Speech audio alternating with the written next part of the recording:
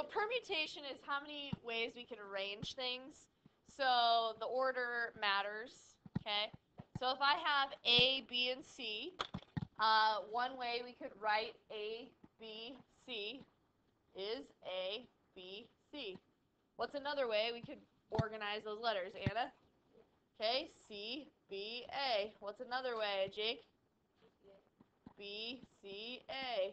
What's another way, Thomas? B, A, C. What's another way, Holly? C, A, B. What's another way?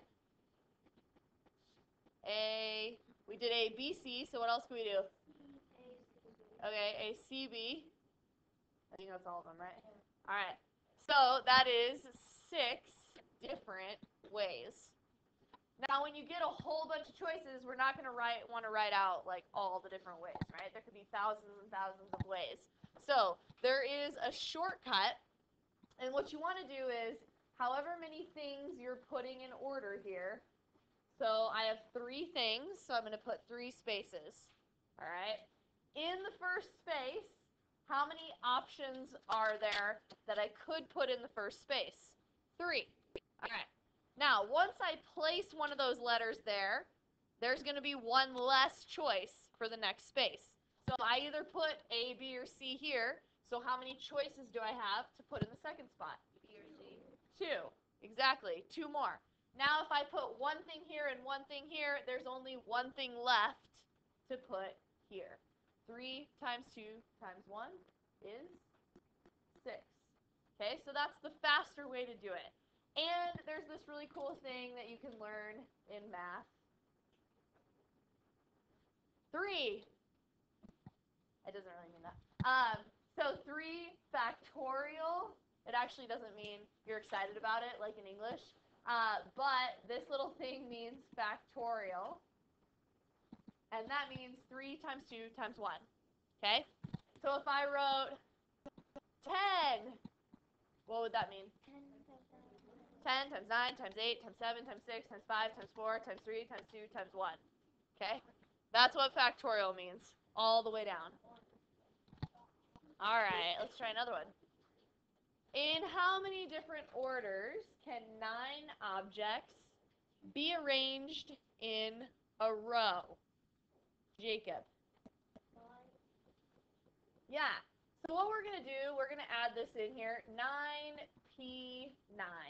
We have nine things, and we are choosing all nine of them. So you have to do that first on every problem, okay? Nine things, choosing all nine. So that is equal to 9 factorial, or 9, 8, 7, 6, 5, 4, 3, 2, 1. Okay, there's a button on most calculators that does this for you where you don't actually have to type in every single thing, right? So if you can find that button, we can look for it. And then you get an answer.